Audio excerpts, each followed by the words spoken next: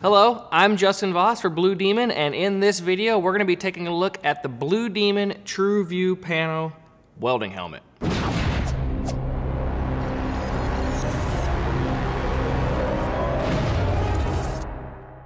This is the True View Pano from Blue Demon, offering a massive 180 degree field of view and 1 to 1 to 1 to 1 optical clarity. What does that mean? Auto darkening cartridges are put through a series of four tests. The first test basically checks to see how much the lens distorts what you're seeing. The second checks for impurities of the actual lens. And the third checks the variance of shade across the lens. The fourth checks for shade variations when looking through the lens at an angle, like often how you're welding. All four categories are given a score from one for the best to three for the worst, meaning the Blue Demon TrueView Pano received the highest possible score in all four of these categories. The Pano helmet has a very fast auto darkening response time and does this across all three lenses with the help of five individual sensors. The main lens auto darkens anywhere in the range of 4 to 14 with a grind mode that has a shade of 3, making it great for a broad use of applications, from grinding to plasma cutting, MIG welding, TIG welding, and stick welding. The helmet also has easy to use digital controls. There's a mode button for switching between welding, cutting, and grinding, as well as an easy access button on the outside so you don't have to flip up your hood to switch between welding and grinding mode and then back again. On the controls, there are dedicated buttons to adjust the shade, sensitivity, and delay of the helmet, and any of these three can be put into automatic adjustment. The helmet ships with two replacement front covers and a complete set of the three inside replacement covers.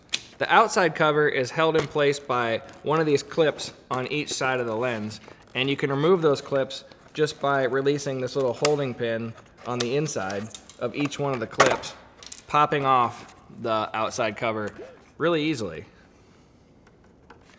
The inside covers just have four little tabs on each one of the corners of each lens that you can easily just lift up with the little groove they provide and pop them out and replace them with the new ones and be back to have a crystal clear display.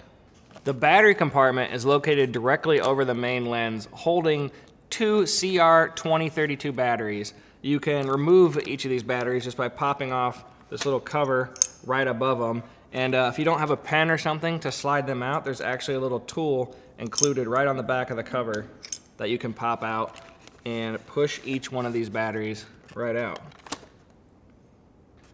Now, since not everyone was blessed with a perfect head like me, the head strap has plenty of adjustability all over it. You can adjust the tightness like most of you are probably familiar with, just by turning the dial on the back. That's gonna be your main adjustment once you get all these other things set to what's comfortable for you.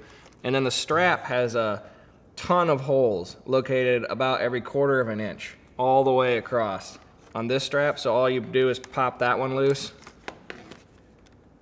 slide it to where you want it, snap it back in, and you're good until you find what is comfortable for you.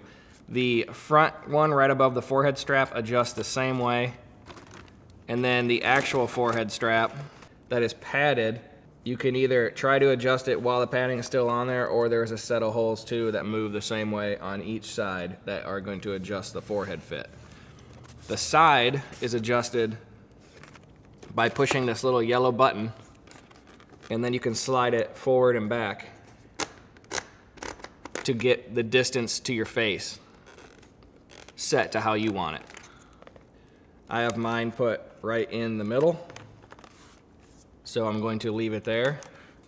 And then there is also another adjustment that mine is also set right in the middle. This one you pull down on this little greenish yellow clip here, and then you can adjust how far this front stop and the back stop is of how far it's gonna flip down and how far it flips up. Now let's get back to those three TrueView displays that give this helmet its name. As I set up to weld these two pieces of steel, you can see in 180 degrees in true to life colors. As we strike an arc, all three panels seem to instantly darken to our desired shade. As we start welding and the lenses darken, you can see that you do not lose that great color display. You can clearly see what we are doing, even the color of the puddle forming as we weld along. The view is so clear we can see our heat signature forming, we can see any impurities in the metal easily. The best part, as soon as our gas stops flowing, we can see exactly what our weld looks like before we even flip up our hood. And that's it. Thanks for checking out this overview of the Pano True View welding helmet from Blue Demon. If you like this video, it would be great if you gave it a thumbs up, and if this is your first time visiting the Blue Demon YouTube channel, I hope you subscribe and stay a while. Anyway, I'm Justin Voss for Blue Demon, and we'll see you next time.